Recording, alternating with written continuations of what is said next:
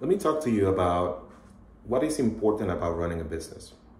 Running a business is about servicing your clients, working with your team, and having a purpose, right?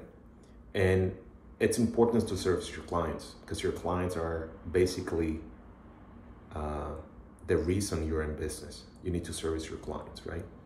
Um, and also your team.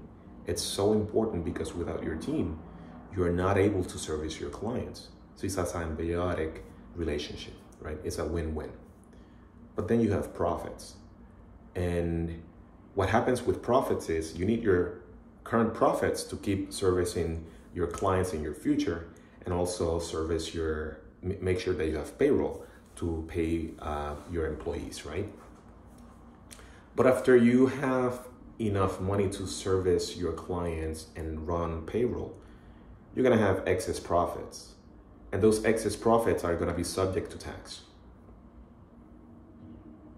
in the US, the tax rate is going to be at least 21% for C corporations, and then for flow through entities, it's definitely north of 35% if you combine federal and state taxes.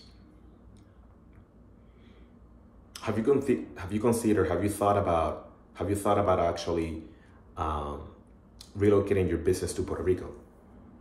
Puerto Rico offers under Act 60 for business owners um, the opportunity to export your services out of Puerto Rico. And once you qualify under Act 60, the tax rate is 4%. So now think about this.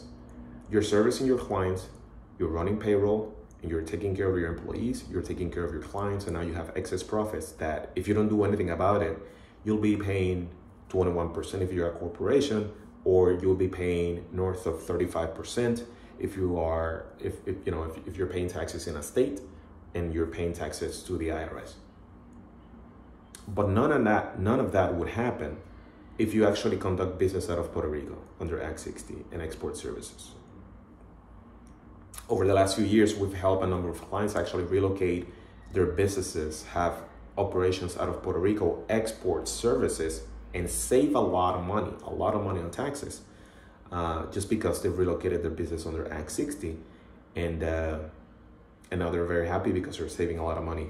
And now they're expanding their businesses they're fulfilling their dreams they're able to hire more people they're able to help in, in the economy in puerto rico uh, and uh, and plan for the future.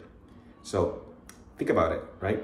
You have a business you're taking care of your employees you're taking care of your clients now you have excess profits you got to pay taxes if you relocate to puerto rico you're going to be saving a lot of money and it's going to only help you to keep on expanding your business and also uh, uh, be able to fulfill the dreams and, and, the things and the goals that you want to accomplish in the future. My name is Victor Delerme. I'm a CPA in the US. I'm also a CPA in Puerto Rico. Our team has been helping our clients for a number of years and we'd love to give you a consultation, provide you the opportunity to potentially conduct business out of Puerto Rico under Act 60. If you love a consultation, please reach out and I would love to talk to you. And thank you.